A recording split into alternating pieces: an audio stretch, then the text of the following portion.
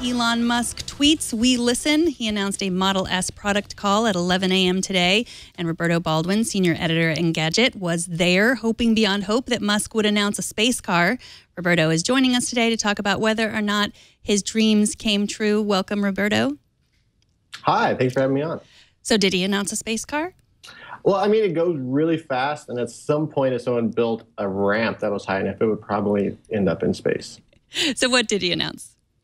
So he announced uh, the the ludicrous mode for the car. Now we've had uh, insane mode, which made the car go from zero to sixty in about three point two seconds, and now ludicrous mode, uh, the car will go from zero to sixty in two point eight seconds, which if you're a car person and you just kind of follow, you, that is insanely fast. That's well, I guess it's ludicrously fast. um, and, and, you know this this new thing is going to cost you about ten thousand bucks extra if you want to go from zero to sixty in two point eight seconds. Uh, I mean, if you have the money to buy a Tesla, I guess ten thousand dollars isn't that big of a deal. Probably not. So, what if I already have a Tesla, which I do not? Uh, how much would it cost to upgrade? So, for your imaginary Tesla, it's going to cost you uh, five thousand dollars for the next six months. So, you have six months. You can get half off if you already own a Tesla. So that's kind of nice. So the call was pretty funny. I mean, he said, you know, we could do this, so we decided to do it. Why not?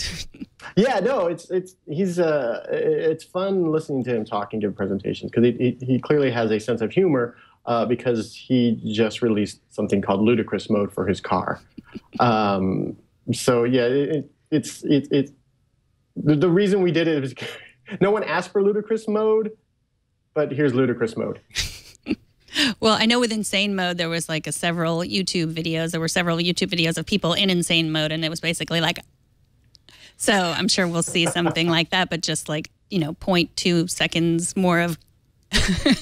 yeah, yeah, it's, it's it's almost half a second quicker, which is a that's that's a lot when you're going from zero to sixty. So uh, and, and and it's also 1.1 uh, G's, so it's faster than if you were falling. So, uh, but not as fast as a rocket. And he did say that there was going to be a rocket discussion on Monday. Do you have any guesses as to what he's going to talk about on Monday?